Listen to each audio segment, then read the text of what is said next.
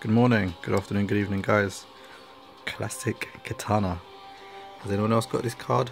So this is, oh, well, this was awarded for having, well, getting it through the console reward. So if I go into my profile and console unlocks, I can show you what it was that I did to obtain that.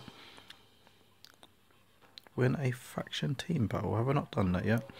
Uh, where is she? So I've got Farmer Jack. So which one have I got? So I've got uh, Ninja Mime Johnny Cage. I have do, do, do, do, Farmer Jacks.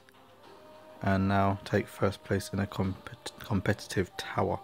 So and I have classic Kitana. So I've already characters apart from Injustice Scorpion. He's next. So I'll see if I can get that over the next couple of days I'll try and get that one because I think I'm on like level 48 on the faction um, challenge or in factions. So hopefully it should be the next one I get. But for now it's classic Kitana so I'm, I'm happy with that. So guys like comment subscribe and I'll see you in the next one. Take care. Bye bye